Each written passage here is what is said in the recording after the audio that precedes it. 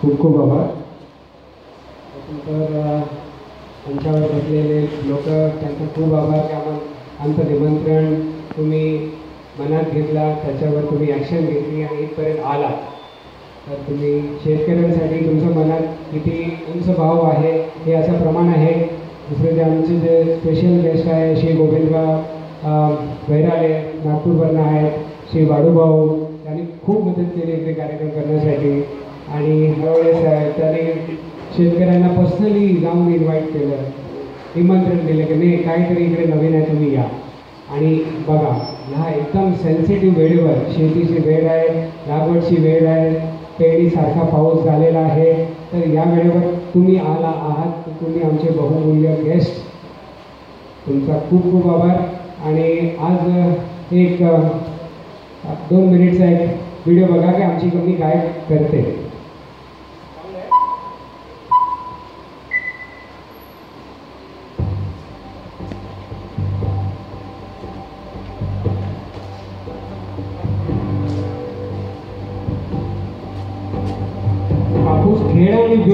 खूपच अवघड आहे आज.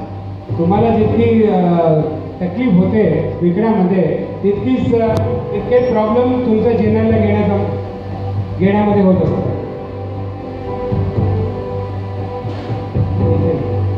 तो कापूस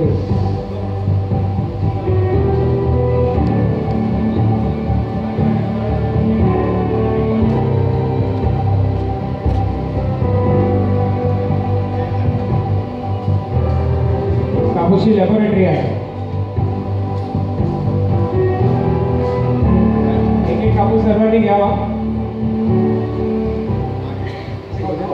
since the group started its operations in 1903 and the fourth generation of this company.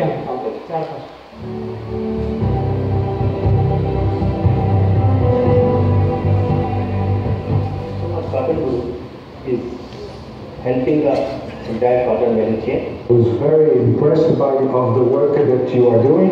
creating an overall awareness about the importance of coordination. He is definitely going to help the industry and future generation. उन्होंने जो एक mission खड़ा KIA है तो इससे cotton trade को textile industries को बहुत फायदा होगा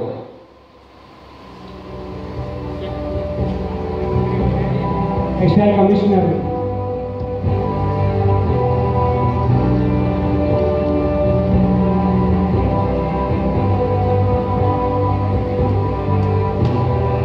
आमचे आहे. खूप रस आहे यांना की भारतामध्ये शेती कशी होते बघायला?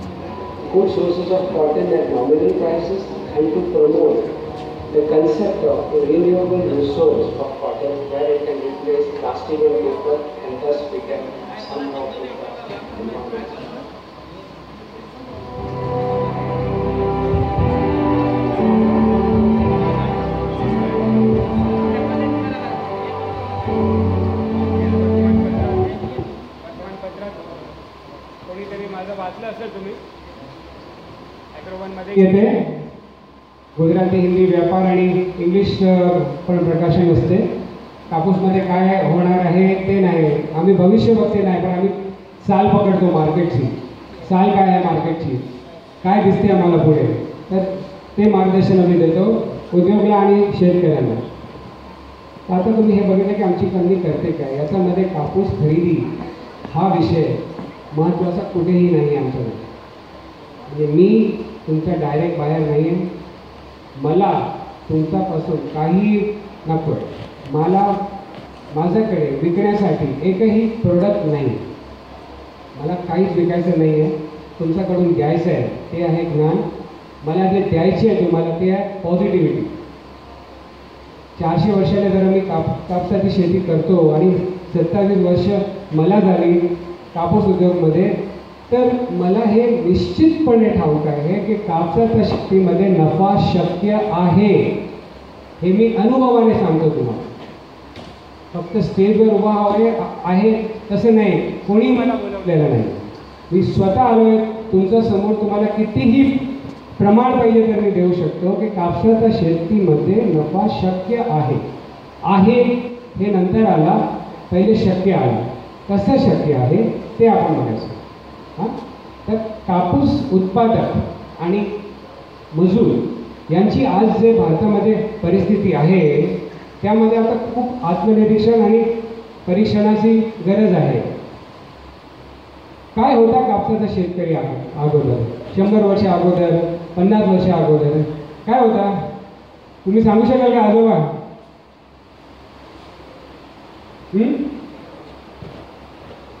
काय म्हणाले? शंभर वर्ष अगोदर पण काही नव्हता. की आज काय नाही आहे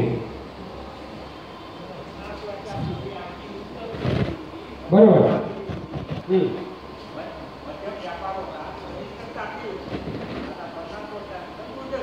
उलट झालं आहे बरोबर. आहे ते जे म्हणतात ते अनुभवाने म्हणतात. कापसाला पांढरं सोनं का म्हणतात? म्हणतात याचा काही काय डाऊट आहे का. का म्हणतात सर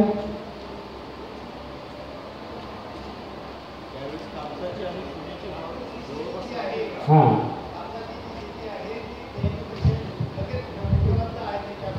हां. कापसामध्ये असलेल्या पैशाला कापूस जो आहे हा बाजारामध्ये त्वरित विकला जातो.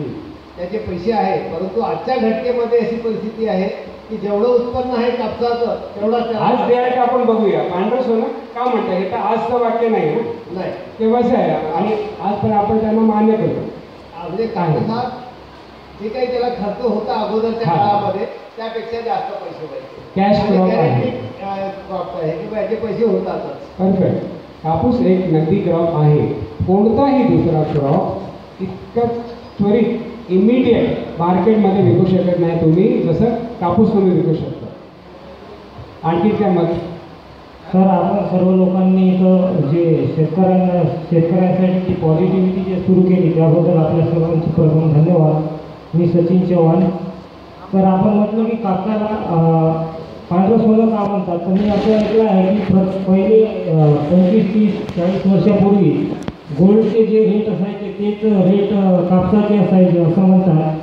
की जर सोनं सहा हजार रुपये ज्यावेळेस होतं त्यावेळेस म्हणजे पहिले पाचशे रुपये ज्यावेळेस सोन्याचे भाव होते त्यावेळेस कापसाचे पण प्रति क्विंटल पाचशे रुपये भाव होते. म्हणून कापसाला व्हाईट गोल्ड असं म्हणतात. बरोबर आहे. ते पण एक अँगल आहे. हां बरोबर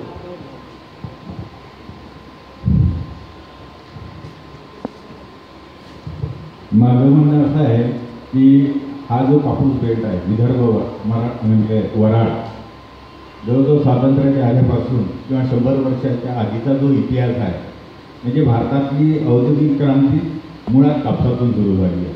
म्हणजे एम्प्रेस मिल असो किंवा टाटाचा टाटा परिवार उद्योगात यायचं असो त्यांनी टेक्स्टाईलपासून सुरुवात केली. आणि खरा पैसा हा टेक्स्टाईलमधून भारतात सुरू झाला.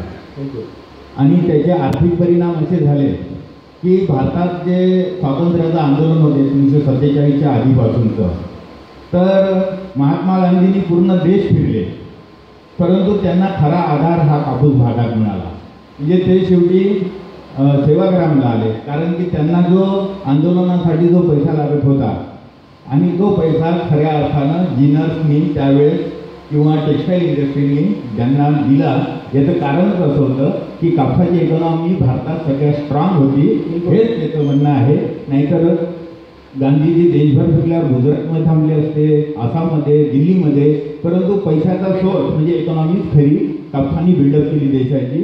आणि खरं शोषण केलं हे कापसातूनच विदर्भाचं केलं आहे. म्हणजे सगळ्यात जास्त शोषण म्हणजे शिल्लकचा पैसा हा कापसात होता. एवढं बिलकुल. कापूस एकच असं एस्टॅब्लिश नगदी क्रॉप आहे. दुसरे क्रॉप आहे दुसरे पीक आहे पण इतका वर्षाचा रेकॉर्ड नाही त्यांचा. सात हजार वर्षाचा लेखी रेकॉर्ड आहे कापसाचा. भारत आज आज निर्यात करत कापूस. एक हजार वर्ष अगोदर पण आपण करीत होतो. भारताचा मलमल कापड आणि रेशम कापड खूप फेमस होता. त्यावेळी पण. एक ब्रँड होता. चारशे वर्ष अगोदर. म्हणजे हे काही नवीन नाही आहे. कापूसमध्ये पैसा बनवणं हे काही नवीन नाही आहे. नफा करणं काही नवीन नाही आहे. सात हजार वर्ष कोणताही व्यवसाय चालू शकतो का? चालू नाही शकेल नफ्याशी? शक्य नाही आहे. कापसाचा शेतकरी असला की त्याला सून शोधणं बिलकुल काय प्रॉब्लेमच नाही आहे. कापूसचा शेतकरी आहे हो. काय प्रॉब्लेम आहे पैशाचा? म्हणजे ही परिस्थिती होती. आता काय झालं? की बडी भेटून आपण शोषित प्रजा होत चाललो आहे का? कोण आहे याला जबाबदार? आपण एकत्र शासन निसर्ग हे प्रॉब्लेम आहे ते प्रॉब्लेम प्रॉब्लेम खूप आहे हो. पण सात हजार वर्षामध्ये काय प्रॉब्लेम नाही आले का? आजच आले का हे प्रॉब्लेम त्याचा दुसरा प्रश्न हा आहे की आज पांढरं सोनं उगवणारा कापूस कापूस उत्पादक शेतकरी सुखी आहे का? हो की नाही? नाही का? एकदम सर्व एकदम क्लिअर आहे. सुखी नाही का? खूप कारण आहे. एक दोन एक दोन कारण सांगा बरोबर माझं असं म्हणणं आहे जो कापूस उत्पादक शेतकरी आहे त्याच्यावर खूप सारे बंधन आहे. पाबंदी सगळ्यात मोठा विषय आहे की कापूस उत्पादन करणाऱ्या शेतकऱ्यावर पहिली पाबंदी आहे की तंत्रज्ञान. म्हणजे जे एकोणीसशे शहाण्णव साली अमेरिकेत तंत्रज्ञान आलं बोलगाड वन त्याला भारतात यायला दोन हजार दोन लागले. म्हणजे शहाण्णव ते दोन हजार दोनपर्यंत शेतकरी गरीब झाला. म्हणजे सरकारी अधिकारी येऊन गावात सांगायचे की अमेरिकेत दहा क्विंटल कापूस विकतो आणि आपल्या इकडे दीड ते दोन क्विंटल. शेतकऱ्याला वाटायचं की अमेरिकेतला शेतकरी खूप हुशार आहे. भारतातला शेतकरी अडाणी आहे. पण तसं नव्हतं. ही तंत्रज्ञानाची गॅप त्याच्यामुळं आपण अडचणीत आलो किंवा घाट्यात गेलो. दुसरा विषय असा आहे की आपल्या इथे सगळा माल आपण ए पी एम सीत विकतो. त्यामुळं शेतकरी कापसाचे भाव ठरू शकत नाही. तो जेव्हा ए पी एम सीत जातो त्याचा लिलाव होतो आणि व्यापारी भाव ठरवतात. परंतु जगभरमध्ये ए पी एम सी व्यवस्था नाही आहे. व्यवस्था आहे वायदे बाजार एम सी एफ सारखी किंवा न्यूयॉर्क पाटण वायदे बाजार. पुढचे सहा महिने दहा महिन्याचा कापूस तो आधी विकू शकतो. त्यामुळे त्याला किती कापूस लावायचा आहे कोणत्या भावात विकायचा आहे ही माहिती त्याला मिळते. परंतु भारतात कसं होतं की घरून कापूस विकायला गेला तर त्याला पकडून नेतात चोरासारखं. किंवा व्यापारी जर आला घरी तर त्याला पकडून नेतात. त्यामुळं कायदे सगळ्यात मोठं कारण आहे भारतामध्ये की शे कापूस उत्पादक शेतकरी गरीब आहे तिसरा माझा विषय आहे की टेक्नॉलॉजीची जी गॅप आहे आज ज्याचा उत्पादन खर्च आपण कमी करू शकतो. असं बोलगाडवन म्हणजे जे जनरेशन सेकंड जनरेशनची टेक्नॉलॉजी अर्थात आहे फक्त आता तिकडे पाच पाचव्या जनरेशनची टेक्नॉलॉजी आहे. टेक्नॉलॉजीची गॅप सगळ्यात मोठी आहे आणि मार्केट व्यवस्था सगळ्यात खराब आहे भारतात. ते एक कापूस उत्पादकासमोरचं सगळ्यात मोठं आव्हान आहे. ठीक आहे. तुम्ही पॉईंट खूप डिटेलमध्ये सांगितले खूप खूप आभार. म्हणजे आपण बघितलं की सरकार त्याची पॉलिसी निसर्ग त्याची असमानता मार्केट अनप्रेडिक्टेबल काय होणार उद्या काहीच सांगता येत नाही बरोबर आहे? आणि त्याच्यावर रोग येणं हे सगळे जे कारण आहे त्याच्यामुळे कापसाचा शेतकरी त्रस्त झालेला आहे. आज ही परिस्थिती आहे हे सत्य आहे. तर याचा उपाय काय आहे ते आपल्याला बघावंच लागेल कारण की शेती आपला मूलभूत व्यवसाय आहे. आता या वर्षी या यावेळी तुमच्या वयाचा या या स्तरवर तुम्ही शेती सोडून नोकरी करू शकता का? हां? नवीन नवीन व्यवसाय शोधण्यासाठी तुम्ही बाहेर जाऊ शकता का? अवघड आहे पण शेतीमध्ये सात हजार भारताचा लेखी इतिहास असल्यामुळे खूप कितीही प्रॉब्लेम्स आला तरी पण त्याचं सॉल्युशन लवकरच शेतकऱ्यांना भेटलेलं आहे. म्हणून ती अजून जागे आहे. तर आपण हे बघा की जर कापसामध्ये तुम्हाला नफा मिळवायचा असेल तर दोन गोष्टीचं तुम्ही लक्ष ठेवा. एक आहे की तुमचं उत्पादन काय आहे? काय आहे? कापूस. आहे सर्वांच्या आधी दाखवा. एक फोटो घ्यायला कापूस उत्पादक तुम्हाला असंच वाटेल. आम्ही जेव्हा सर्वेक्षण फॉर्म भरले साडेतीन हजार फॉर्म भरले विदर्भमध्ये तेव्हा दोनशे बत्तीस शेतकऱ्यांनी असं सांगितलं की आम्ही कापसाला केव्हाही हात लावलेलाच नाही केव्हाही कापूस हात धरलेला नाही कापसातील शेतकऱ्यांनी असं लिहून दिलं फॉर्ममध्ये. तुमच्या प्रोडक्ट तुमच्या उत्पादन काय आहे तुम्हाला हातात तुम्ही घेतला नाही तुम्ही बघितलं नाही त्याची चकासणी तुम्ही केली नाही तर त्याचं मोल तुम्ही ठरवणार कसे? तर दुसरा जे महत्त्वाचा प्रश्न आहे की कापसाचं मोल काय आहे हे आपल्याला ठाऊक आहे का विकण्या अगोदर? त्याची किंमत सोडून द्या. त्याचं मोल काय त्याची व्हॅल्यू काय आहे? तर कापूस हे तुमचं उत्पादन. कोणाला कापूस बघायला येतो का?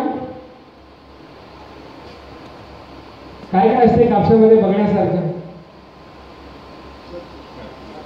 एकदम दोन सांगा. लेग स्ट्रेंथ स्ट्रेंथ बरोबर. माय ताकद दुसरा? वजन किती आहे तुमचा कापसाचा? वजनदार आहे की नाही कापूस? की हलका फुलका आहे. बरोबर? आणि ग्रे मॉइश्चर व्हेरी गुड जीटेक्स ताकद काय आहे त्याच्यामध्ये? तर कापूस तुम्ही हाती धरला जर. हॅलो आणि याला जर तुम्ही असं खोलला थोडा थोडा दोन हातामध्ये तुम्ही धरला आणि हळू जसे दोन हात जर तुम्ही असे केले याची लंबाई तुम्हाला कळणार. कशी कळणार? असं धरायचं एक तार काढा. अजून एक तार काढा. अजून एक काढा कमीत कमी तीन तार काढा. त्याला कोम्बिंग करून घ्या हाताने. एकदम लांब तार असेल ते तुम्ही बाहेर काढून घ्या. आणि जे मीडियम तार आहे तुम्ही त्याला राहू द्या. असं जर तुम्ही दाखवला तर हे कापसाची लंबाई आहे. कापसाचा भावाचा मूलभूत कारण त्याची लंबाई आहे. प्रथम हे टेस्ट होते मशीनमध्ये मशीनची किंमत पस्तीस लाख ते तीन करोड. जे तुम्हाला फिल्ममध्ये दाखवलं टेस्टिंग मशीन त्याची ही किंमत आहे. तर तुम्ही तुमचा बाहेर जे खरीददार आहे त्याचं टेस्ट करणारच आहे. त्याचा अगोदर तुम्ही एक चेक करून घ्या की तुमचा कापूसची लंबाई काय आहे ॲव्हरेज एका वेळी नाही जमलं तर अजून तीन वेळी करा. आमचा कॉटन गुरु क्लब मेंबरांना तर सर्वांनाच हे प्रशिक्षण भेटते की तुम्ही स्वतःच्या शेतामध्ये कापूसचं प्रशिक्षण कसं करू शकता? कापूसची चकासणी कशी करू शकता? प्रथम झालं लंबाई. बरोबर? दुसरं आलं ताकद. या कापसाला तुम्ही असं धरलं आणि तोडण्याचा प्रयत्न केला तर किती जोर लागतो तोडण्यामध्ये? ही ठरवते की तुमच्या कापसाची ताकद किती आहे? ताकद पाहिजे की नाही? पाहिजे. तिसरं आपण जे बोललो ते वजन. कापसामध्ये जर वजन असलं म्हणजे तुमचं फायबर आणि सीड दोघेही फुल्ली मॅच्युअर आहे. मॅच्युअर फायबरचे भाव जास्त भेटतात. चौथा आणि मुख्य कारण जे प्रथम बघून दिसतो आपल्याला ते आहे ग्रे रंग खूप कसा दिसतो ते कापूस? सर्व कापूस समान दिसतो का? की कोणता पिवळा दिसतो कोणता सफेद दिसतो? या वर्षी तर काळा कापूस पण बघितला. नाही का बरोबर? तर कापसाचा ग्रेड काय आहे? हे ठरवणार की तुमच्या कापसाची किंमत काय राहणार? तुम्ही काय करणार की तुम्ही जाणार एक एक खरीददारकडे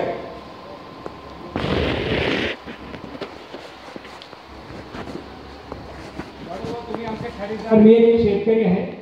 साहेब माझ्याकडे कापूस आहे. प्लीज हे घेऊन घ्या तुम्ही काय भाव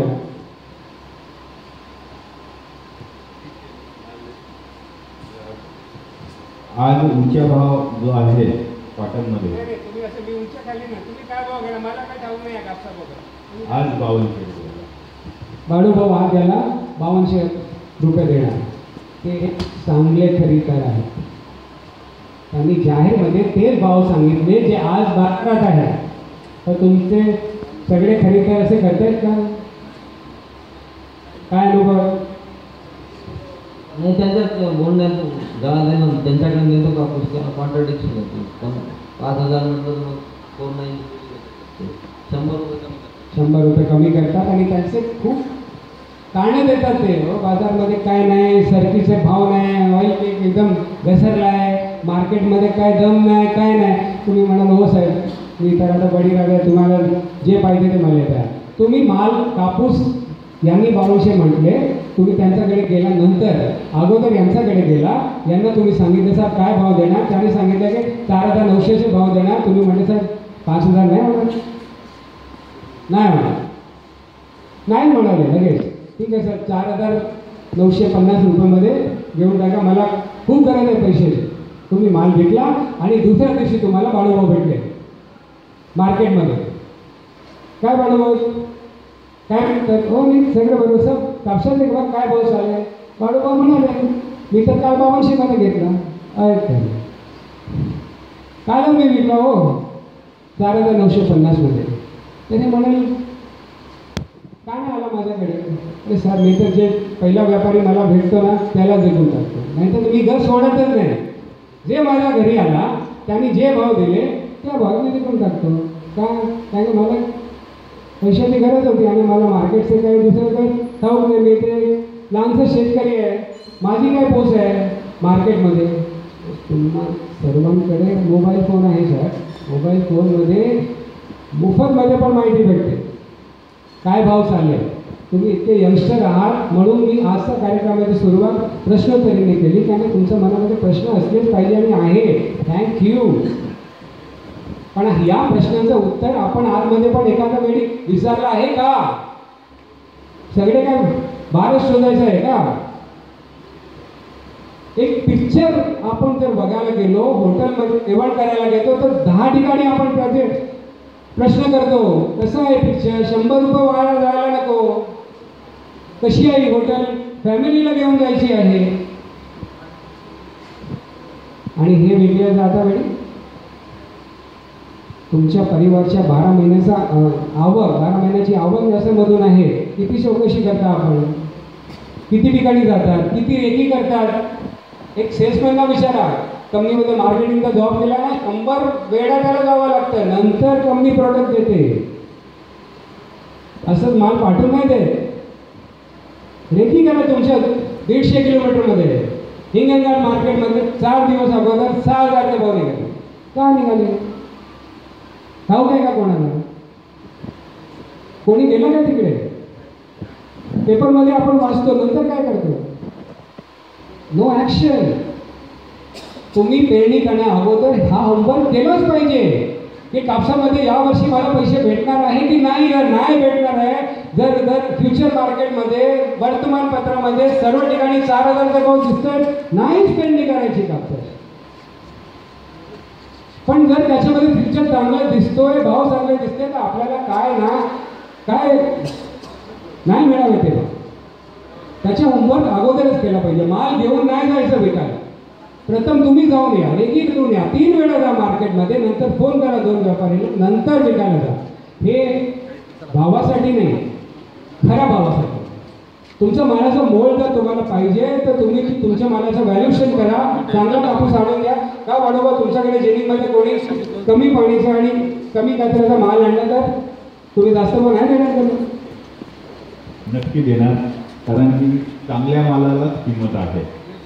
त्यामुळं जो इन्फिरियर क्वालिटीचा माल आहे यामुळं चांगल्या मालाची परत खराब होण्याचे चान्सेस जास्त आहे यांना जर दोन पैसे जास्त भेटले तर तुम्हाला देणारच. म्हणजे खरीदाराची मानसिकता तुम्ही बघा त्याला काय पाहिजे जे जे जर तुम्ही त्याला दिलं त्याची जी गरज आहे ते तुम्ही जर पूर्ण केली तर ते तुम्हाला भाव देणारच. कारण त्यांची गरज आहे.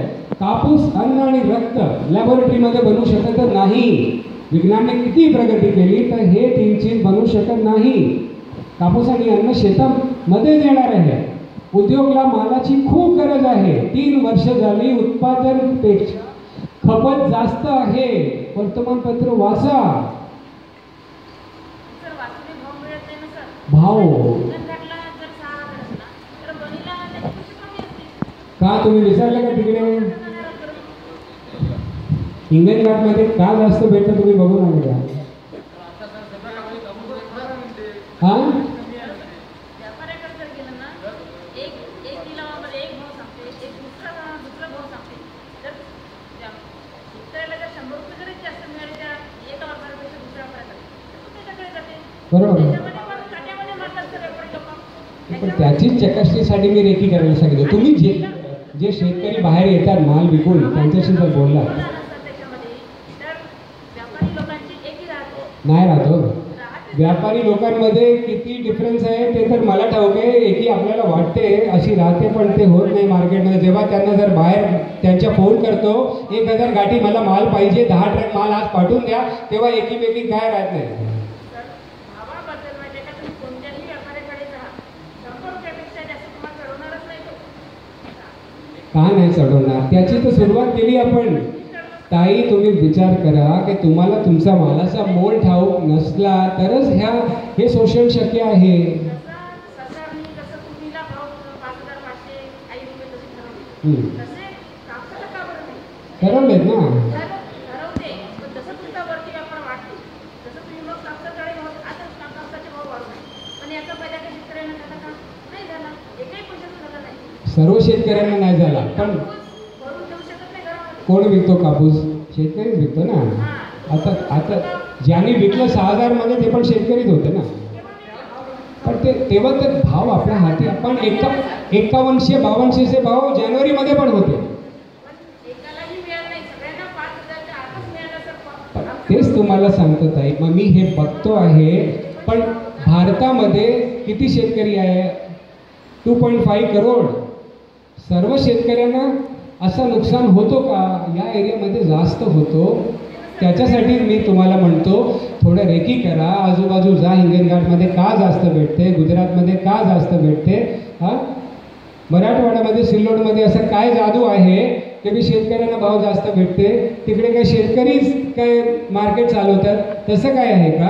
की व्यापारी चालवतात मार्केट तरी पण भाव जास्त देतात. मालाची सफाई बघा कापसाची डिलिव्हरी बघा. कशी डिलिव्हरी होते कसे ते माल घेऊन येतात तीन दिवस अगोदर व्यापारीला भेटून जातात. जेनिंगमध्ये काय काय तुमची खरेदी आहे काय लेवाली आहे किती माल पाहिजे नंतर स्वतःला गावात जाऊन दहा लोकांचा गट बनवतात. की तुम्हाला दोन हजार क्विंटल पाहिजे आम्ही एकच गाव आम्ही देतो तुम्हाला. ही क्वालिटी पाहिजे एकच गाव तुम्हाला देऊ शकेल. मग फोन करतात व्यापाऱ्याला साहेब दोन हजार क्विंटल कापूस आहे एकच गाव आहे. चार वाहन आहे. काय भाव देणार? तो म्हणतो बावनशे. नाही सर. त्रेपन्नशे रुपये पाहिजे. तो सांगे की आता फोन करून सांगतो तुम्हाला थोड्या वेळात. लगेच त्याच्या बाहेरला फोन लावा. साहेब लिमिटेड व्हेरिएशनची व्हेरायटी आहे. आठ टक्काच फक्त मॉइश्चर आहे. चांगला ग्रेडचा माल आहे. दोन हजार क्विंटल म्हणजे चारशे गाठीचा मला माल भेटतो. आता तुम्हाला ऑफर करतो. घेता की नाही? बाहेर मी म्हणालो हो घेतो. लगेच तुम्हाला फोन येणार असे लोकांना भाव भेटतात. लोक भाव घेतात. माल घेऊन गेला आणि विकायला गेला त्याला ठाऊक आहे आता तुम्हाला एक खर्च तर लागलेला आहे. हा एक नाही तर दुसरा. सर्व व्यापारी तर माणूस नाही सर. मनुष्याचा माणूस तसा आहे. तुमच्याकडे जर आम्ही काय विक्रीला आलो आणि माझ्याकडे दहा चीज आहे तुम्ही सांगणार. काय डिस्काउंट देतं सांगा. नंतरच घेते. का मी घेणार? तुम्हाला ठाऊक आहे. मी गेलो की दुसरा येणार आहे. मागे. तर ही सगळी गोष्ट तुम्ही लक्षात ठेवा. भेटत नाही हे आपल्याला. भेटत नाही हे आज. पण हे काय निश्चित सत्य नाही. दुसऱ्यांना भेटतात. आणि ते काय जास्त शिकलेले आहे जास्त हुशार आहेत तसं काय नाही. पण ओपन माइंडेड आहे ते नवीन नवीन बघतायत आणि त्याप्रमाणे ते प्रयोग करतायत. तुम्ही पण करा. घट बनवा. चार पाच लोक आठ लोक दहा लोक. आता चार दिवस अगोदर आम्ही एक गावात गेलो शेतकरी पत्ते खेळत होतो पाऊस नाही ना मग काय जमीन तयार केल्यावर पाऊस आल्यावर करत बियाणे तर तुम्ही काहीतरी निवडणूक केली पाऊस आल्यावर करत आणि आज तिकडे फोन केला एकही शेतकरी घरात धावपळ झाली. बियाणे घेण्यासाठी दुकानमध्ये जमिनीमध्ये असं. पाऊस तर येणारच आहे. हो तुमची तयारी कुठे आहे? सर्व तसं करत नाही पण जे करताय त्यांना त्याचं मूल्य भेटतोय. तर त्याची आठवण ठेवा. मग इतकंच म्हणायचं होतं की शक्य सगळं आहे. मन ओपन करा. पॉझिटिव्ह व्हा. आणि तुम्ही जर नवीन काय शोधत असतं असला आहे. इच्छिता तर आमच्याकडे एक प्रयोग आहे. कॉटन गुरु प्रदर्शन शेत या मी तुमचा शेतावर येऊन प्रयोग करू जर एक गाव भेटला तर खूप चांगला आहे. तुमचा संगती चार महिने आम्ही राहू आणि तुम्हाला उत्पादन कसा वाढायचा गुणवत्तामध्ये सुधार कसं करायचं आणि तुमचा मालाचा खरा मोल तुम्हाला कसं मिळावा ते मार्केटिंगचे टूल्स आम्ही तुम्हाला देऊ शकतो अवजार देऊ शकतो. युद्ध करायचं आहे तर अवजार पाहिजे. अवजार आणि सेनेशिवाय युद्ध होत नाही. कापूस मित्र तुमच्यासाठी युद्ध आहे. अवजार आहे का? सेना आहे का? नसली तर ते मिळवा. ही संधी आहे. नवीन वर्षासाठी नवीन सीझनसाठी कॉटन गुरु टीम आपल्याला खूप खूप शुभमंगल. कामना करते